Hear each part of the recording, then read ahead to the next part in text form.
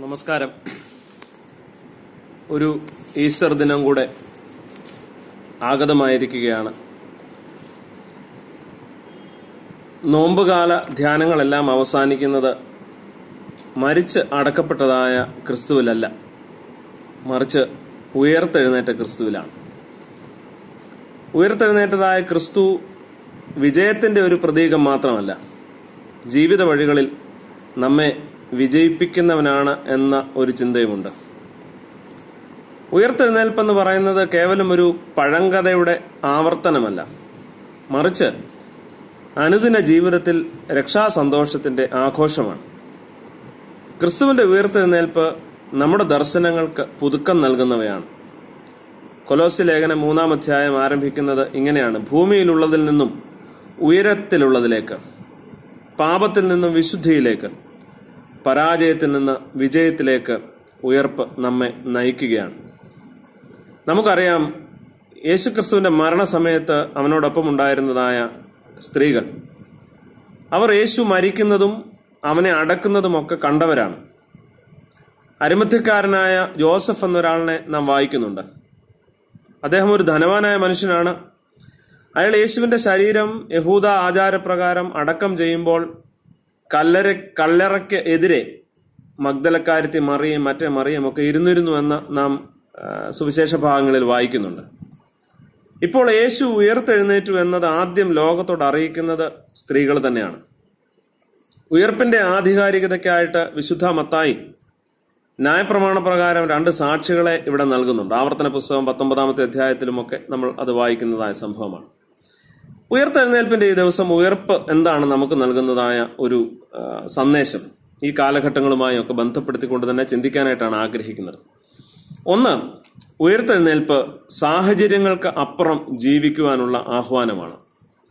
സാഹചര്യങ്ങൾക്ക് അപ്പുറം ജീവിക്കുവാനുള്ള ആഹ്വാനം. മഗ്ദലക്കാരത്തി മറിയും മറ്റേ മറിയും സാഹചര്യങ്ങളെ അതിജീവിക്കാനുള്ള വെല്ലുവിളിയാണ് നമുക്ക് മുമ്പിൽ ഉയർത്തുന്നത്. ക്രിസ്തുവുമായുള്ള ഈ സ്ത്രീകളുടെ ബന്ധം മരണത്തിൽ അവസാനിക്കുമെന്ന് നനച്ചവരെ അതിശയിപ്പിച്ചുകൊണ്ട് അവർ വീണ്ടും ക്രിസ്തുവിനെ തേടി വരികയാണ്. ക്രിസ്തു ശിഷ്യരായി തീർന്നതായ സ്ത്രീകൾ തന്നെയാണ് ഇവർ. ഈ സ്ത്രീകൾ ഇതിനകം തന്നെ തങ്ങളുടെ സാഹചര്യങ്ങൾക്ക് അപ്പുറം ജീവിക്കുവാനായി പഠിച്ചു കഴിഞ്ഞിരുന്നു. ഇപ്പോൾ ക്രിസ്തുവിന്റെ മരണം സൃഷ്ടിച്ചതായ ശൂന്യത അവരെ വീട്ടിനുള്ളിലേക്കും അവരിലേക്കും പരിമിതപ്പെടുത്തുന്നില്ല. അവർ വീണ്ടും കല്ലറയിലേക്ക് ക്രിസ്തുവിനെ തേടിയെത്തുകയാണ്.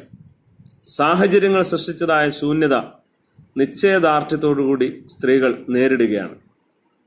ഒരു സെമിത്തേരിയുടെ ശൂന്യത ഏകാന്തത റോമൻ ഭരണകൂടത്തിന്റെയും യഹൂദ മതത്തിന്റെയും ഭീഷണി ഇതിലൊക്കെ ഉപരി സ്ത്രീ എന്ന ഒരു സാമൂഹ്യവും മതപരവും ശാരീരികവുമായ പരിമിതികളെല്ലാം അതിജീവിച്ചാണ് ഈ സ്ത്രീകൾ അതിരാവിലെ ഇരുട്ടുള്ളപ്പോൾ കല്ലറയ്ക്കലെത്തുന്നത്.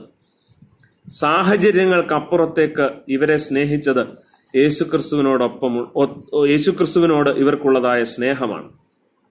തുറന്ന കല്ലറയുടെ കാഴ്ച അവർക്ക് ലഭ്യമായത് അവർ സാഹചര്യത്തിനപ്പുറം പോയതുകൊണ്ടാണ്. സാഹചര്യങ്ങൾ സൃഷ്ടിക്കുന്നതായ കല്ലറകളായിരിക്കുന്ന വലിയ പ്രതിസന്ധികൾ. സാമ്പത്തികമാവാം അത് ശാരീരികമായ പരിമിതികളാവാം. ഇങ്ങനെയൊക്കെ ഉള്ളതായ കല്ലറകളിലേക്കൊക്കെ നാം ഉൾവലിയുമ്പോൾ ഉയർപ്പിന്റെ ഒരു വലിയ സാധ്യതയാണ് നമുക്ക് നഷ്ടമായി തീരുന്നത് നാം നഷ്ടമാക്കുന്നത് എന്ന് നാം അറിയണം. ഉൾവലിയുക ഉപേക്ഷിക്കുക. ഈ വക ചിന്തകൾ നമ്മെ എന്നും പുറകോട്ട് വലിക്കുമ്പോൾ സാഹചര്യങ്ങളോട് പോരാടി വിജയിക്കുവാൻ സാധാരണക്കാരായ ഈ രണ്ട് സ്ത്രീകൾ നമ്മെ ആഹ്വാനം ചെയ്യുകയാണ്. എല്ലാ പ്രതിസന്ധികൾക്കും അപ്പുറം ഉയർപ്പിന്റെ രക്ഷാകരമായ ഒരു പ്രഭാതം നമ്മെ കാത്തിരിപ്പുണ്ട്. അപ്പോൾ ഉയർപ്പ് സാഹചര്യങ്ങൾക്കപ്പുറം മുന്നോട്ട് നീങ്ങുവാനുള്ള വലിയൊരു ആഹ്വാനമാണ് നൽകുന്നത്. രണ്ട് ഉയർപ്പ് സെമിത്തേരിയിലെ വിസ്മയ കാഴ്ചകൾക്കപ്പുറമുള്ള ഒരു രക്ഷാ സന്ദേശം കൂടിയാണ്. സെമിത്തേരിയിലെ വിസ്മയ കാഴ്ചക്കപ്പുറമുള്ള ഒരു രക്ഷാ സന്ദേശം ക്രിസ്തുവിനെ അടക്കം ചെയ്ത സെമിത്തേരി അവിടെ സ്ത്രീകൾ പ്രതീക്ഷിക്കുന്നത് ഒരു സെമിത്തേരിയുടെ ശൂന്യതയാണ്. എന്നാൽ അവരെ എതിരേറ്റത് വിസ്മയകരമായ കാഴ്ചകളാണ്. വലിയ ഭൂകമ്പം കല്ലറവാതിൽക്കൽ വെച്ചിരുന്ന കല്ല് ഉരുട്ടി മാറ്റി അതിന്മേലിരിക്കുന്ന കർത്താവിന്റെ ദൂതൻ അവന്റെ രൂപം മിന്നലിനൊത്തതും അവന്റെ ഉടുപ്പ് ഹിമം പോലെ വെളുത്തതുമായിരുന്നു. സ്ത്രീകൾ ഭയപ്പെടുന്ന റോമൻ പട്ടാളക്കാർ അവർ പേടിച്ച് വിറച്ച് മരിച്ചവനെ പോലെ ആയിത്തീരുന്നു.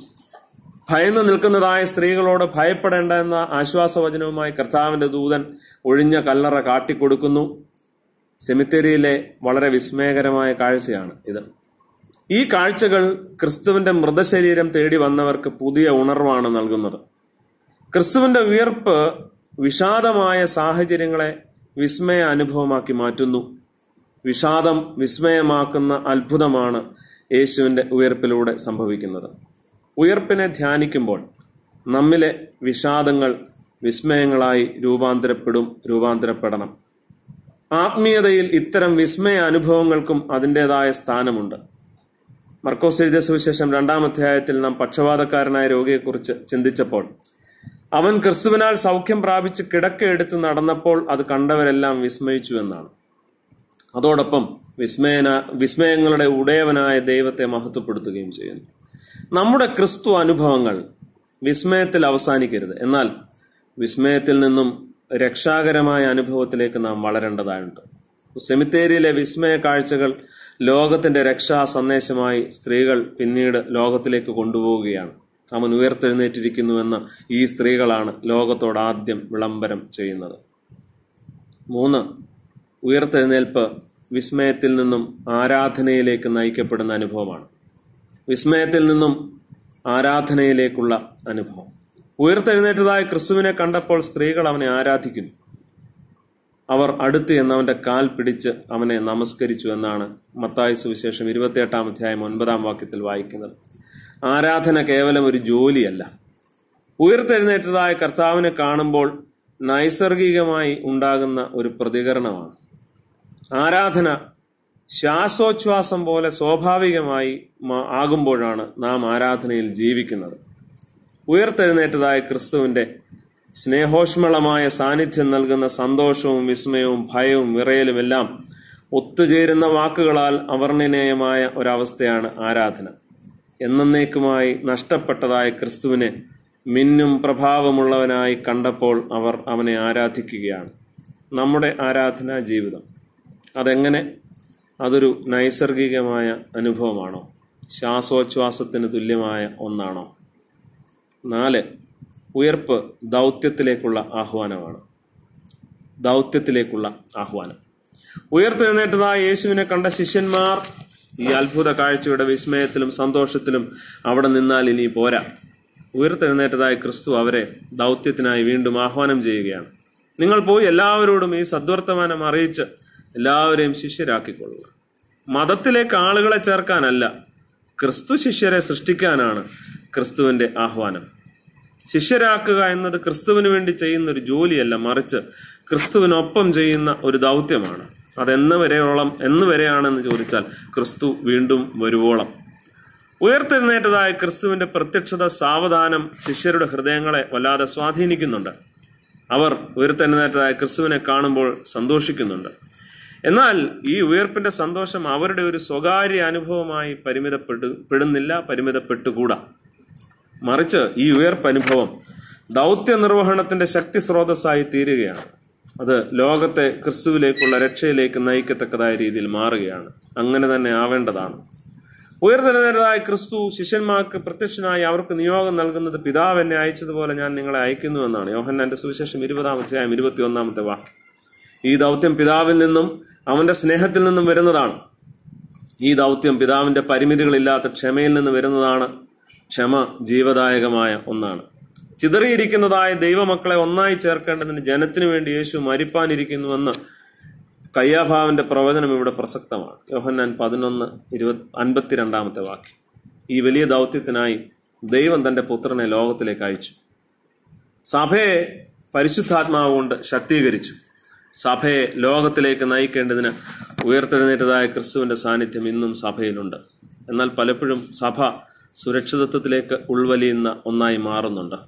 പ്രത്യേകിച്ചും ക്രിസ്തു വിശ്വാസവും സാക്ഷ്യവും വെല്ലുവിളികൾ നേരിടുന്നതായ സാമൂഹികവും രാഷ്ട്രീയപരമായ ഇടങ്ങളിലെല്ലാം ക്രിസ്തു മരിച്ചവരുടെ ഇടയിൽ നിന്നും ഉയർത്തെഴുന്നേറ്റിരിക്കുന്നു. ഇനി അവന്റെ സാന്നിധ്യം ഭയന്നിരിക്കുന്ന ശിഷ്യർക്കൊപ്പമാണ്. ഇനി ഉയർത്തെഴുന്നേറ്റതായ ക്രിസ്തു ആ ക്രിസ്തു ശിഷ്യരുടെ ദൗത്യ മേഖലയായ ഗലീലയിലാണ്. ക്രിസ്തു സാന്നിധ്യം ഇനി കല്ലറയിലല്ല സമൂഹത്തിലാണ്. ഈസ്റ്റർ നമ്മെ ആഹ്വാനം ചെയ്യുന്നത്. സാഹചര്യങ്ങൾക്കപ്പുറം ക്രിസ്തുവിന്റെ ഉയർപ്പിന്റെ ശക്തിയിൽ ജീവിക്കുവാനാണ്. വിസ്മയകരമായ ഉയർപ്പനുഭവങ്ങളിൽ നിന്നും വിശ്വാസത്തിന്റെ പുതിയ തലങ്ങൾ തേടുവാനാണ്. ആരാധനയുടെ പുതിയ അനുഭവങ്ങളിലൂടെ ദൗത്യത്തിന്റെ മേഖലകളെ തിരിച്ചറിയുവാനാണ്. സുരക്ഷിതത്വത്തിന്റെ കല്ലറകൾ വിട്ട് ഗലീലയുടെ അസ്വസ്ഥതകളിലേക്ക് ഇറങ്ങുവാനായിട്ടാണ്. അവസാന ശത്രുവായ മരണവും ക്രിസ്തുവിന്റെ ഉയർപ്പിനാൽ നീങ്ങിപ്പോയതിനാൽ ഈ രക്ഷയിൽ എന്നും സന്തോഷിക്കേണ്ടവരാണ് ഞാനും നിങ്ങളും എല്ലാം. തീർച്ചയായിട്ടും ഉയർപ്പ് നൽകിത്തന്നതായ ജീവന്റെ വിജയം മരണത്തിന്മേൽ ജീവൻ ജയിച്ചതിന്റെ വലിയ സത്യം. ആ സത്യത്തിലേക്ക് നടന്നെടുക്കുന്നവരാണ് ഞാനും നിങ്ങളും എന്നുള്ള ബോധ്യവും നമ്മുടെ ഈ ലോകത്തിലെ രക്ഷാകരമായ ദൗത്യവും ജീവിതം ജീവിത മേഖലകൾക്ക് ഊർജവും ഊടും നൽകി നമ്മെ വഴി നടത്തട്ടെ. ഈ ഈശ്വരന്റെ എല്ലാ ആശംസകളും സന്തോഷവും എല്ലാവർക്കും നേരുന്നു. ദൈവം എല്ലാവരെയും അനുഗ്രഹിക്കട്ടെ.